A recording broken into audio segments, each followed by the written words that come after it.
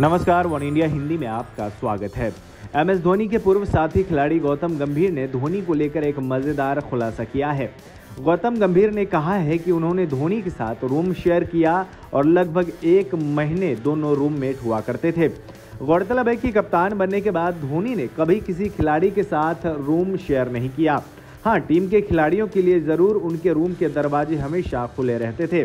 इस पर गौतम गंभीर ने बड़ा खुलासा करते हुए बताया कि करियर की शुरुआत में उन्होंने धोनी के साथ लगभग एक महीने तक रूम शेयर किया था। इस दौरान वो दोनों ज़मीन पर भी सोया करते थे।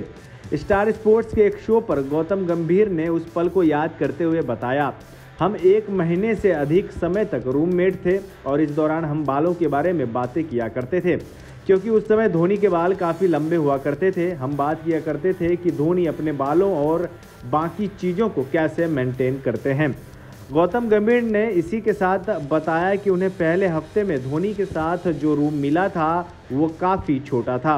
उस रूम को बड़ा बनाने के लिए उन्होंने बेड को कमरे से बाहर निकाल दिया था और बाद में दोनों खिलाड़ी ज़मीन पर ही सोया करते थे।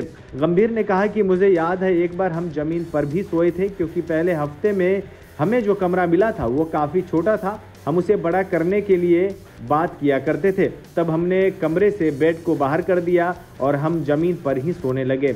वो शानदार और यादगार लम्हा है।